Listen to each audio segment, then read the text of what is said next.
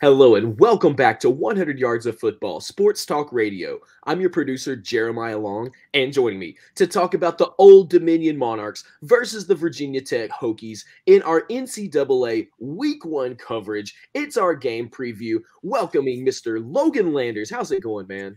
What's going on, Jeremiah? College football finally back. We all know the games few of the games started off this past weekend. It was a great time. Nebraska, Northwestern out there in Dublin, Ireland to kick off the season. And now we're getting all the teams piling in this upcoming week. This one's going to be coming to you on September the 2nd, 7 o'clock Eastern Time.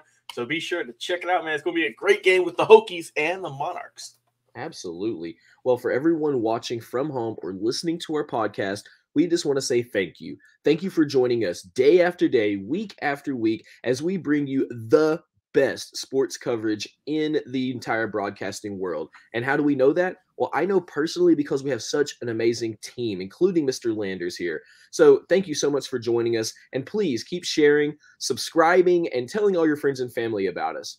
Well, Mr. Logan Landers, we're broadcasting live from Atlanta. We love football. We're 100 yards of football. This is our bread and butter. So tell us here in the NCAA Week One, the Virginia Tech Hokies versus the Old Dominion Monarchs. What do we see coming down the line? Let's talk about these teams, man. It's going to be a good matchup here. I always love the Week One matchups because you always get that certain level of just uncertainty because you don't know if teams are going to be looking razor sharp, if they're going to come out flat. Because it's been quite some time since they've been on the field. We all know they've been practicing, they've been doing a little bit of training. Uh, but they haven't had that in-game action in quite a few months, so it's always fun to see if there's any upsets abound. But let's talk about this game. Old Dominion, Virginia Tech. Let's start with the Hokies first and foremost. Last season, six and seven, four and four in their conference. Not the greatest year. They decided to bring in new head coach, Mr. Brent Pry. Looking at Virginia Tech, right? That we all know that in the mid 2000s and whatnot, maybe in the early 2010s, they were looking pretty good. But as of recent years, recent seasons, it's been kind of up and down. Uh, just some teams who are looking eh, and some other teams are looking pretty good, but just couldn't get over that peak of getting into that championship game of looking really, really good. But they are trying to maybe get back on track, get away from that five to seven win seasons, and get things rolling. Let's talk about this offense here for the Hokies. Left the name also. Uh, Tyler Bowen comes in, man. He's coming over from Penn State, who was working over there. And you got to figure out the quarterback situation first and foremost. Braxton Burmeister, he has gone out of there, went to San Diego State. You got Grant Wells coming in from Marshall, who looking pretty good. A lot of talent, good bit of experience. He's just got to prove that he can limit turnovers, right? And I think he'll be fine. And also, you're going to be getting with Jason Brown from South Carolina. So figure out who you got over there. As for the receivers, you're getting Trey Turner, Tayvion Robinson, they're no longer on the team. So you're working with Caleb Smith, leading returner last season, with only, who only had 20 catches and 260 with two scores. So you're getting kind of an unproven room in your wide receiver core. So that's going to be something to look out for and see how that progresses. Um, also, Jadan Blue, pretty good playmaker, right? Just got to give the ball a little bit more coming over from Temple University. And Nick Gallo as well, good in the short game. O line, pretty decent last year, paved the way for 185 yards per game in terms of rushing but you did lose three of your key players. So we'll see how that happens there if they can hold up against Old Dominion. Uh, you are getting Cade Moore and Parker Clements back, so that's definitely going to help out, no doubt about that. Raheem Blackshear, leading rusher, he's out of there. He is no longer there. He is gone. So you got to figure out if you can get the running game going as well with Malachi Thomas. Uh, ran for a little bit under 500 yards last year, three scores. So once again, just kind of like the wide receiver just kind of proving you don't know how these guys are going to look this upcoming year, all in all. Let's load up on over to the defense, though, and see what they can do to stop these Monarchs this upcoming week. It's going to be a great game, man. And as for Virginia Tech, right, pretty consistent last year. So pretty good bright spot. Wasn't great, wasn't horrible, just kind of right there in the middle. Um, Dax Hollifield, right? He's in good. He looked good shape with the linebackers. Um, Alan Tisdale as well. He's looking pretty good. Tackles for loss led the team last season.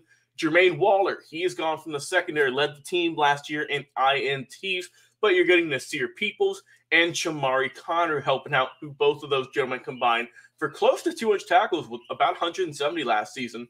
And also um, with Amari Chapman, led team last year, seven passes defended.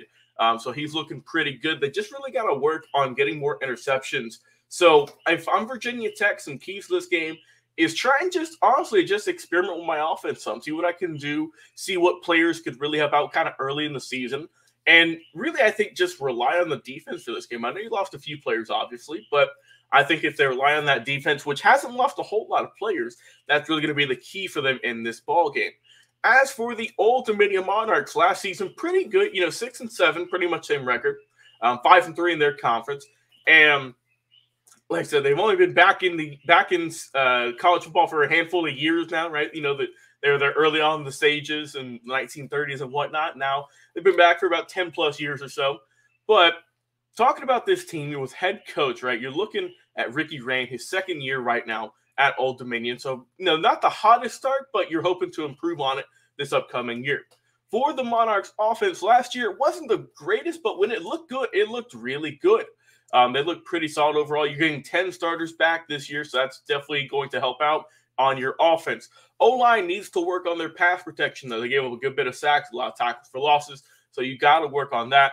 But like I said, you're getting four of your starters back for Dante Anthony and also Kadrick Count and Nick Saldiveri. They're all looking pretty good, so I, I like they're getting most of their starters back, and they're just getting more and more experience. Blake Watson, he's coming back as well. Ran for, ran for over a thousand yards last season, eight touchdowns, and Elijah Davis in the backfield to help him out, backing him up. Um, got six touchdowns last year as well. So the running game, watch out for that. And Hayden Wolff, right? Pretty good passer, 63% of his passes last year, and close to 2,000 yards with 10 touchdowns and seven uh, right?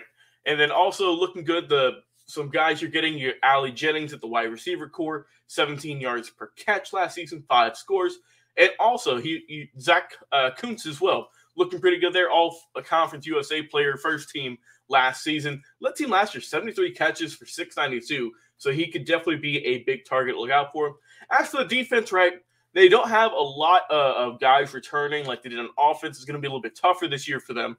Um, so Marcus Hayes, he's come back. He wasn't a regular starter last year, but he did lead the team with sacks with five and a half. So he's definitely going to be getting a lot more looks and a lot more uh, probably double teams this year if he keeps having a good season.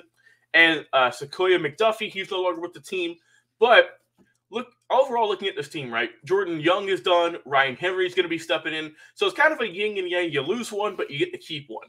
Um, and that's kind of how this uh, Old Dominion defense has kind of been this offseason coming into this 2022 season. Secondary needs a little bit of work, though, right? Roger Cray was looking pretty good, but he's no longer with the team. Trey Hawkins, all star, looking really good, had 76 tackles last season. He's going to be the guy to look out for, the man you circle on your stat sheets to maybe have a really good game.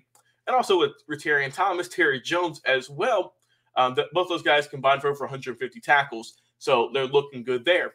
But overall, just some keys for this game. If Old Dominion wants to pull off pretty, you know, the upset in this one that a lot of people are thinking, they just got to limit turnovers on offense, right? They they were just fumbling the ball, giving up interceptions. You got to keep it clean in the pocket, keep it clean. You know, not have butterfingers if you're running the ball. So just watch out for that. As for the defense, just get stronger on pass defense. You know, it's going to be interesting to see how they can guard the deep passes, the long bombs, if they can really cover it, or if it's just going to be kind of a rough day for them and you know if, if Virginia Tech's going to run all over them. So it's going to be interesting to see how that plays out.